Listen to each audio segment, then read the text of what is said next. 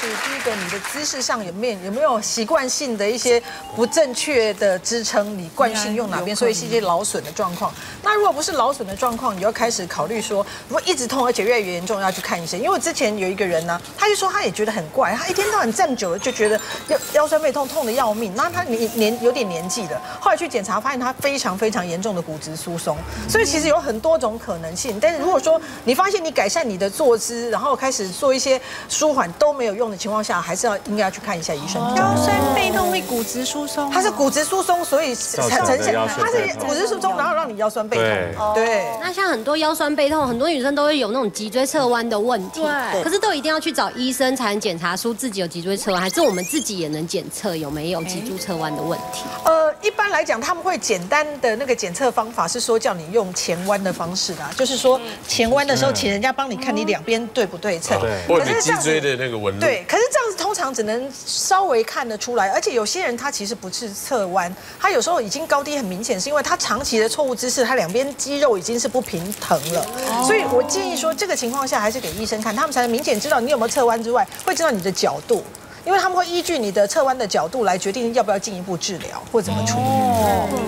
还听说一个最可怕的说法，说腰痛了半天，贴一大堆酸痛药膏，结果是肾病。哎，也有有。其实我自己就是这样子，因为我我前一阵子也是腰酸痛到，你知道真惨了。哎，我真的手疼痛都是久病成良。不是，我两个礼拜前 两个礼拜前还挂急诊，就是因为呢一直觉得觉得这个痛，而且痛到连吃止痛药都没办法。然后呢，后来是因为说就是结石。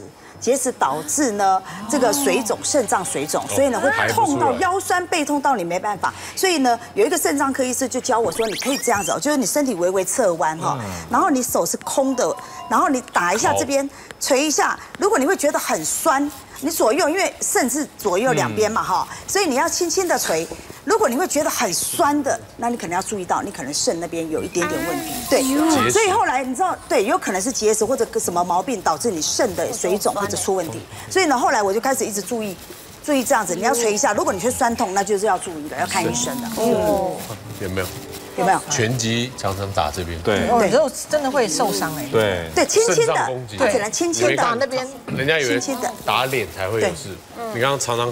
突然间这样打一下这边，可能就肾脏就破裂，肾脏就破裂了，破了它就会软，很恐怖的。那个就重，那个是合法的吗？他这样打？是啊，因为你你看那个拳击，它这边的护腰是比较宽、比较厚，它有护垫的，对，就是怕你那个肾脏被肾脏打破裂，对，而且打那里是违不行的吧？违规的，可以啊，可以可以打的，那是有分数的，但你不能对这边呢都是啊。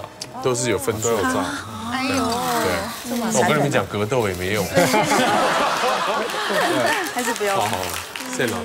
哦，那对，那所以腰酸背痛这一个，当然就是你可能，我觉得上班族很多都是因为久坐啦，或姿势都没有改变，所以在肌肉局部的地方呢，造成那个肌肉僵硬，造成酸痛也会有。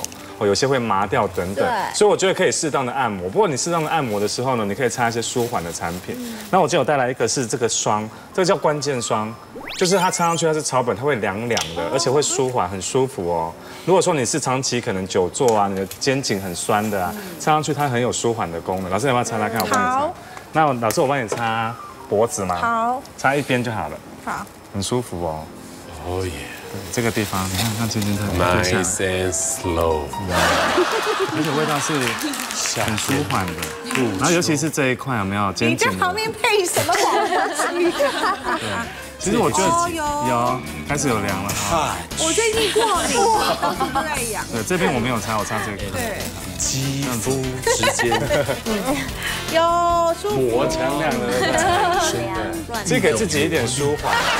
不过你如果真的是长期，因为哪里要看不到，还是要找病，找病。哎，找哎对今天听了这么多觉得现代人好辛苦哦工作压力生活压力竟然还到处痛病痛那么也很感谢这些专家分享的一些 paper 谢谢来宾的分享谢谢。